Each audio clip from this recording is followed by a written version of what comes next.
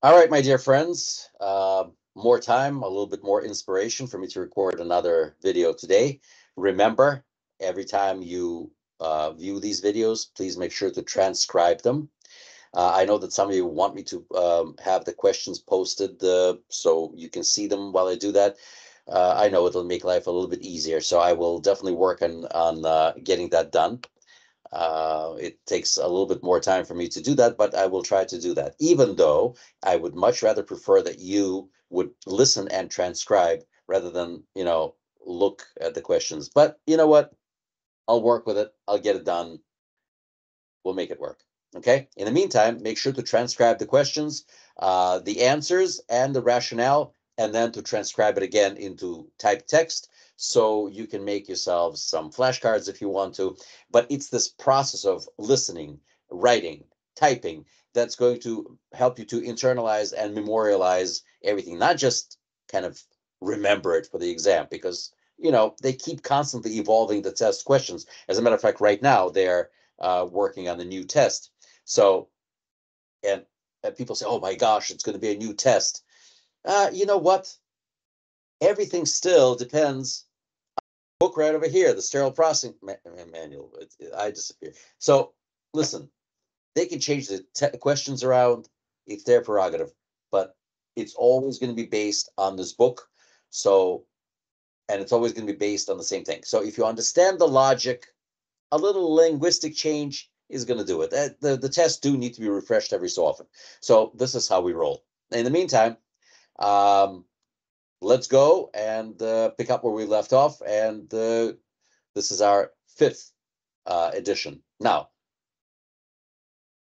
uh, uh, this is number five. We already completed four little sections. This is section number five. Let's go. There are two types of sterile solutions. The solution that is administered to patients uh, intravenously is a what kind of a solution? So there are two types of sterile solutions. One solution is administered to patients intravenously. It is known as what? Number one, external solution. Number two, hydrologic solution. Number three, parenteral solution. And number three, enteral solution. Okay, well, there's really no such thing as external solution. Hydrologic as for us is definitely a word that doesn't figure in any context. So the only two words here is parenteral and enteral. Hmm. Medical term entero means intestines. Entero means intestines. So enteral solution means solution that goes into your intestines, you know, drinking. But parenteral solution prefix para, which means around. Ah, parenteral means how do we get liquid into the body? Well, we drink it. We can also do it IV, but that's not doesn't go into our entrails. It doesn't go into our into our uh, into our uh, intestines. So parenteral solution is the right answer. Number three is correct, and this is what we have here. Okay, now Next question. I hope this question made sense. Folks, power of words is huge. You must study the words. Don't just read the book and bypass uh, bypass um, the words that you don't know that you're guessing. No, look up every word. Look up every word. Use Google Translate or whatever you, you know you got there, and no word left behind. The device that uses spores in or on a carrier, usually accompanied by incubation media, is a what? So a device, very nice word, that uses spores in uh, or on a carrier, usually accompanied by incubation media, is a what? Is it a number one temperature indicator? Is it the bioburden indicator? Is it a biological indicator or is it the chemical indicator? Let's look at the question again. The device that uses spores. Now remember, all indicators are class two devices classified by the FDA. So it's a very important word uh, device that's used here. Uh, uses spores. What is a spore? A spore is a bacteria with a tough outer shell that makes it more difficult to kill. Now, what is that thing that we use and that we incubate in the department? What is that thing that's biological spore? Well, it's our old friend. Ready for this one? Geobacillus stearothermophilus. Geobacillus stearothermophilus. How wonderfully just rolls off of my tongue. Why? Because I'm a genius? Well, according to my mother. According to my wife, I'm not. But the fact of the matter is, I sat there and I practiced to say the words Geobacillus stearothermophilus, so it makes me sound more intelligent. Guess what? It worked. Okay. That's how I got to be a director. Now, Geobacillus stearothermophilus. Geobacillus, it's a spore of Geobacillus stearothermophilus. Geobacillus, bacillus, bacilla, which means uh, it is the uh, um, type of a bacteria, a rod-shaped bacteria. So the answer here is number three, biological indicator. It is a device, class two device, biological device, which is incubated. Sorry, I, you know, got on my soapbox here, but this is indeed what the case is. Hopefully this explanation was thorough enough for you. Okay, next question. Let's see, what do I have here for you? All of the following information should be recorded and maintained for each item of patient care equipment except, except all of the following information should be recorded and maintained for each item of patient care equipment except, except what? Assigned equipment location, equipment cost if purchased, ownership status, and repair history. Well, assigned equipment location, yeah, we definitely should record and maintain this information. Equipment cost, if purchased, questionable. Ownership status, yeah, we have to know whether it's a loaner or something that belongs to us. And its repair history. Hey, was it broken? Was it repaired? We need to know. So the only thing that kind of qualifies under the except is equipment cost if purchased. We don't care what the cost is. Okay, so the answer here is equipment cost is purchased. Off we go. Okay, next question. Uh, what should I give you? What should I give you? All right, let's try this. The decision whether to sterilize or high level disinfect an endoscope is based upon which of the following? The decision whether to utilize or high level disinfect an endoscope is based upon which of the following? Okay.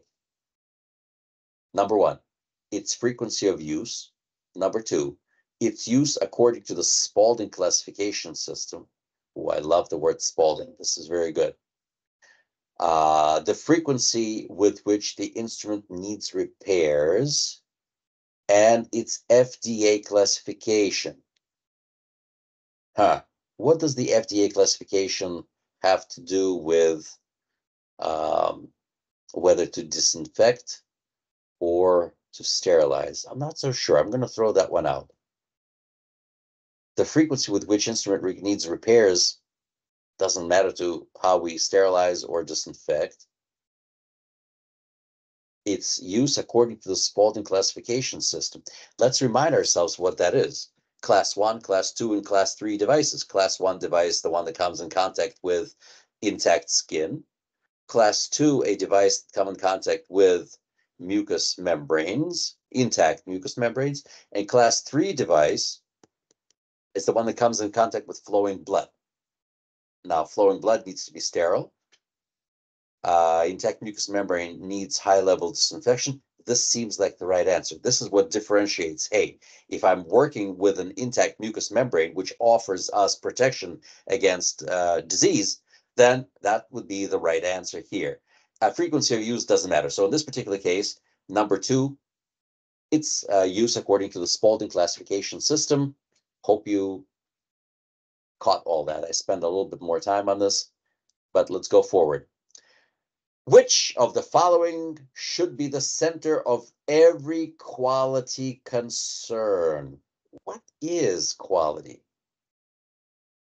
Quality is the consistent delivery of goods and services to assure patient care.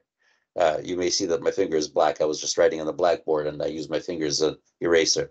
Not sign of poor hygiene, uh, just using my finger to erase stuff. Which of the following should be the center of every quality concern? Consistent delivery of goods and services to assure patient care. What a definition of quality. Now let's see what what we have here. Number one, internal customers. Two, manufacturers. Three, administrative boards. Four, patients. Yes, there's no more discussion. Once you understand what quality is, you know that it's all patient centered. It's all about the patient. So just keep that in mind. Patient centered. The answer here is four. Hope that makes sense. Let's do one or two more. Understanding the purpose of basic types of patient care equipment can improve customer service and reduce frustrations. Which of the following is patient care equipment that pumps heated or cooled water through a cool pad to therapeutically raise or lower body temperature? My gosh, what a long question and you know very little of it. You know, just remember that most patient care equipment can be classified as a pump. Most. I'm not saying all, but most. We're either pumping stuff into the patient or out of the patient or around the patient. And this particular device is pumping hot or cold water around the patient. Let's see what options they give us. Hot and cold therapy devices. Two, hypothermia unit. Three, continuous passive motion device. And last, number four, sequential compression unit. Let's start evicting the stuff uh, that we don't need. Sequential compression unit? Nah, that has nothing to do with heat or cold continuous passive motion device. That's a thing that they use to move the uh, joints of a patient who, let's say, had hip or knee surgery and they need to keep the leg moving all the time by itself. So they put that patient on that machine that by itself moves the limb so it doesn't become kind of stiff and, you know. So that's that has nothing to do with heat or cold. Now, hot and cold therapy devices, you know, I don't particularly care for this uh, for this answer. Um, I like the hypothermia unit. Yeah, after a lot of surgeries, uh, they put patients under these blankets that blow cold air uh, around them just to keep them cool or sometimes hot. Okay. So, but the hypothermia, hypo, prefix hypo is under or less. Thermia having to do with heat. So, low heat hypothermia unit. I'm going to go with number two, hypothermia unit. Let's do one more question and we'll save, we'll go on later. Now, which of the following pieces of equipment would not be considered patient care equipment? Hmm. Patient care equipment, either pumping stuff out, pumping stuff in, maybe things like bedpans, maybe like, like an EKG machine, but mostly pumps, mostly pumps. So let's see. Which of the following pieces of equipment would not be considered patient care equipment? Suction unit. Well, definitely a pump, pumps it out. Heat therapy unit. We just had that. Okay, so it pumps the heat in. IV infusion pump. Yeah, definitely a pump. So it's patient care equipment, right? Last one, implantable devices. Oh, that sucker just sings right out to us. So it's number four, implantable devices. And uh, voila, I think this is going to be enough for now. Uh, these things come in small doses. If I give it to you for an hour at a time, I think you're all going to go brain dead. I know I will for sure, staring at the, these questions and coming up with these answers. But uh, well, more power to you. You know, here we go, five to ten questions here and there. Gives you enough time to scribble them down and then to transcribe them. Folks, if you do this, I promise you, your success is almost guaranteed much like sterilization does not process of sterilization does not offer a guarantee of sterility. Remember we only offer a reasonable assurance of sterilization a reasonable assurance of sterility. So i can give you a reasonable a reasonable assurance of success. If you listen to my lectures if you read the book if you do the practice tests and you do this again and again and again and again over and over again if you immerse yourself in sterile processing you will succeed. There is no magic bullet. There's no one size fits all, but I will tell you learning, repetition, repetition, and application, meaning teaching this to others. If they want to hear from you, you teach them anyway. And that's when you're going to know your stuff. Good luck. God bless. See you soon. Thank you for watching.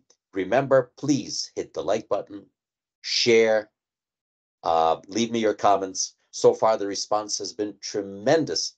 Thank you all very much. Keep on doing it. Okay. Uh, it helps me to uh, support this channel and provide this information to you free of charge. Okay. So just please do this, spread the word, and hit that like button, hit the subscribe button. It's an important thing. Okay. I'm off. See you soon.